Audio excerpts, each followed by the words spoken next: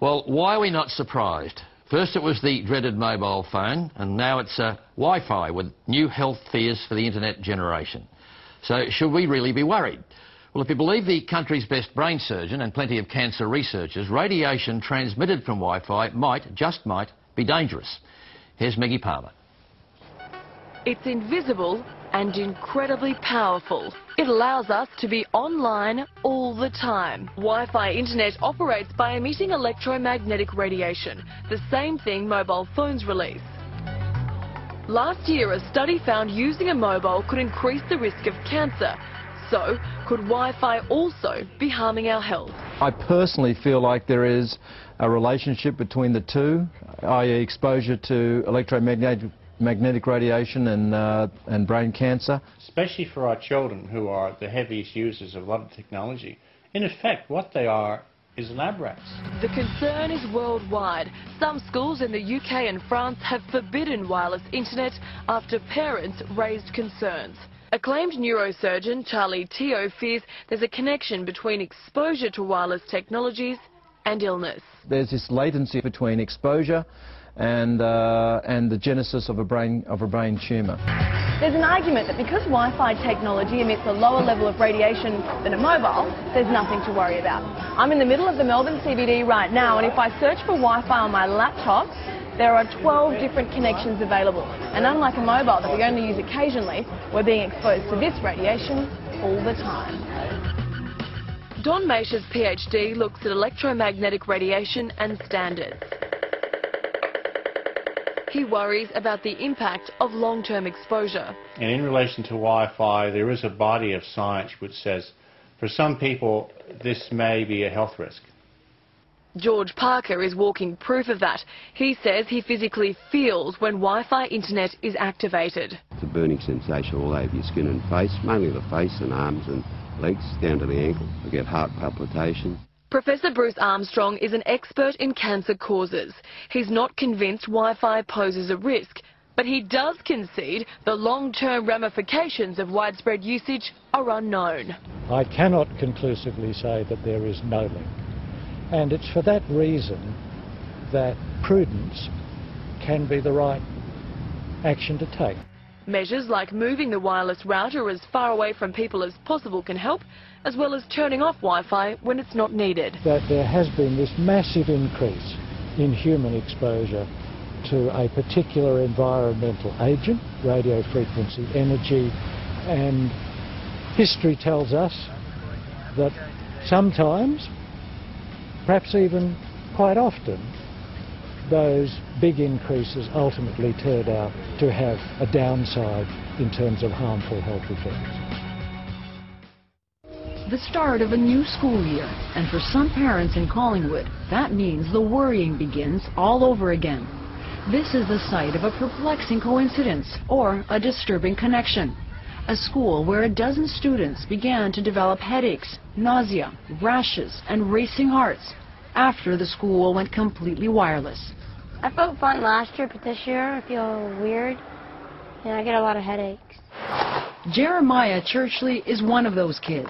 We met him this past summer when school was out. My heart beats really fast and my head starts hurting and it bugs me a lot. And I get really thirsty. All at the same time? So can you describe what it feels like when all this is happening to you? Well, I start feeling very nervous when it all starts happening, especially with my heart. I always think I'm going to die because it's beating so fast. I think I'm going to have a heart attack, but I don't. Doctors put Jeremiah on a heart monitor for a few days, but couldn't figure out what was causing his heart to suddenly race. The symptoms would disappear when Jeremiah was home and start again at school. One day, his mother Betty was with him when he pulled out his laptop in the classroom. And he grabbed my hand. He put my hand on his heart, and his heart was beating so fast, and it was hard. And you could actually see it beating through the sweater. How do you know it's Wi-Fi? That's a good question, and it's something that the school board and Health Canada needs to look into. I've had him to the hospital. They don't know what's wrong with him. Um, I keep mentioning, is it possible the Wi-Fi at the school, but a couple of doctors never even heard of it. For months, Churchley has been looking for answers, and she's not alone. I get a phone call that he's collapsed again. I just lost. About 30 parents in this central Ontario area also believe their children got sick after Wi-Fi was installed in their schools. Wi-Fi in schools is a bad idea. On this night, they've invited a controversial professor from Trent University to speak to the community. Magda Havas is Canada's leading voice against Wi-Fi. She's researched radiation effects on health for nearly 20 years and says about 3% of the population is sensitive to radiation. I think that the inventors of radar never dreamed that we would have the same frequencies inside classrooms exposing children to them. Havas says Wi-Fi routers are like mini cell phone towers, and based on what some studies on cell phone tower exposure and cell phone use have found, she says Wi-Fi can be dangerous too. The closest we can get are cell phones and cell phone towers, very similar frequencies, and we're finding it's making people sick. Wi-Fi works through the transmission of radio waves between a router and a small transmitter in a computer. The radiation signals are about 50 times weaker than a cell phone. But critics say a child in a school that is completely wireless is spending the day under a Wi-Fi smog, constantly exposed to radiation signals from many transmitters from the hours of 9 to 3 every day. In fact, in these parts, there's no getting away from Wi-Fi in classrooms. In the last two years, the wireless technology has been installed in more than 100 schools in the area. We got a tour of Mountain View after students had gone home for the summer. Eight routers are in place here. There's even one in the kindergarten class. Parents like Churchley have offered to pay to have the school hardwired and say they aren't asking for much more. Getting somebody, a professional in, to investigate. Either turn off the Wi-Fi, all of them, for a few months and see how the kids act.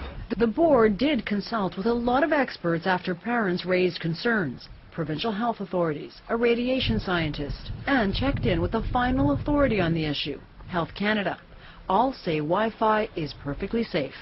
Health Canada sets the rules on how much exposure is too much in Safety Code 6.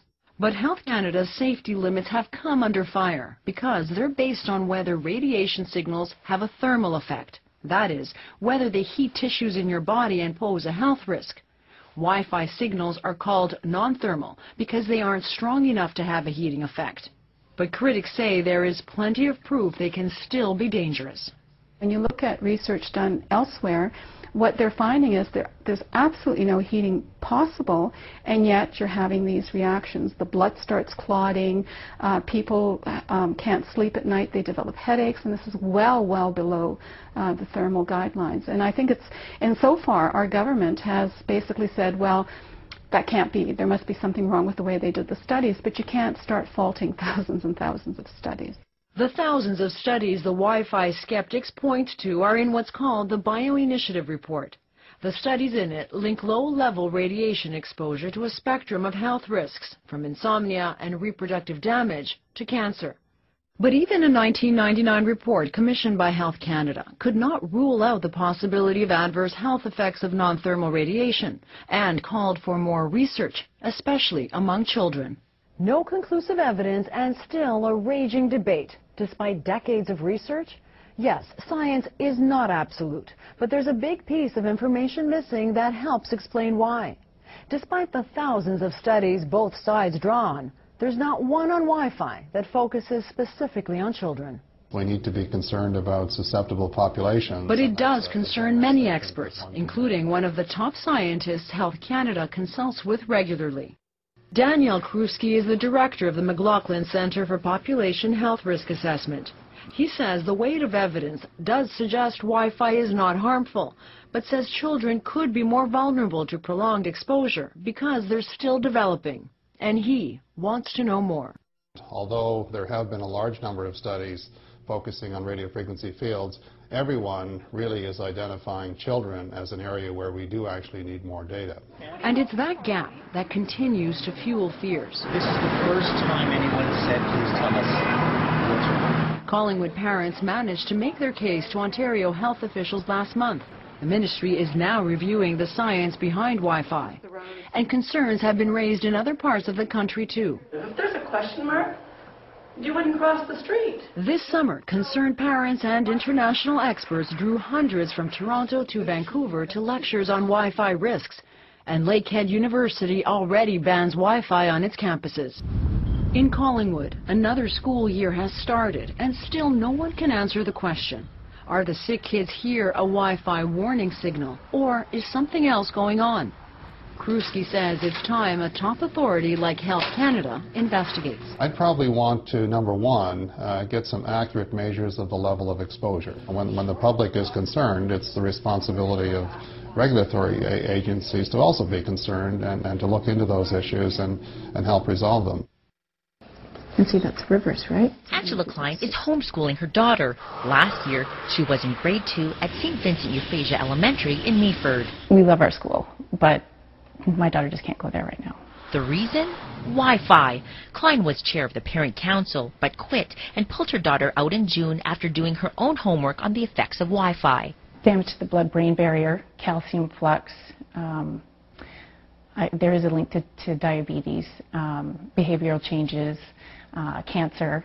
European studies have convinced her that Wi-Fi, even at a low level, is hazardous. Unfortunately, kids are going to be exposed for a number of years, and, and kids are going to get sick, and there's nothing I can do about it.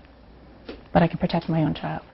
It's everyday long-term low dose level that some people are concerned about.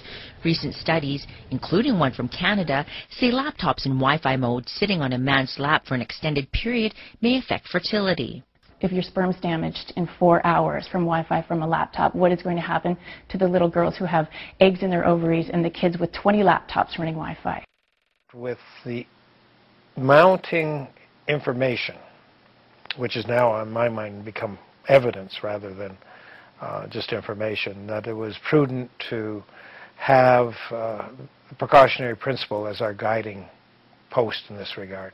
And because of those biological effects, potentially health effects of continuous exposure, even to uh, you know, the low level exposure that you get with, with Wi-Fi.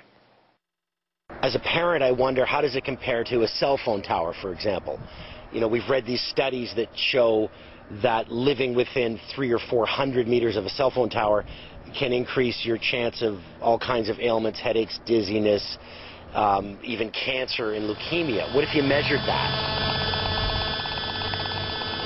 And then what about at our school? Could you measure what the microwaves are at our school where the kids are sitting every day. Even if you measured outside of the windows, right where the kids are sitting in the kindergarten class, could you detect microwaves? My name is Gigi, Mountain View parents. Have two kids at Mountain View. One is in grade six, one is SK. My concerns are Georgia used to complain of headaches while in school. So then I decided, okay, take the next step, go to the doctor. So we went and saw the doctor. She interviewed Georgia and asked, you know, if these headaches occurred while in school, at home, and the outcome was they were only occurring, occurring while she was at school. They weren't occurring on the weekends, and now being in a portable, nothing, no headaches. About two years ago, my son started getting some strange sensations, and it was usually at nighttime. It would last about 10 or 15 minutes. I had like my eyes, everything looked big, and when my mom talked in bed, everything sounded like really, really loud. His bedroom was right over where we kept our computer, I realized later, but he would get really strange sensations at bedtime, and he would call it the weird brain thing.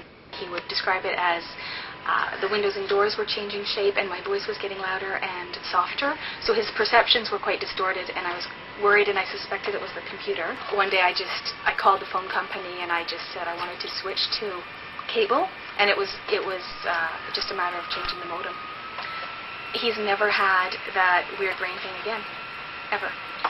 The computer was right under me, so um, it was pretty obvious.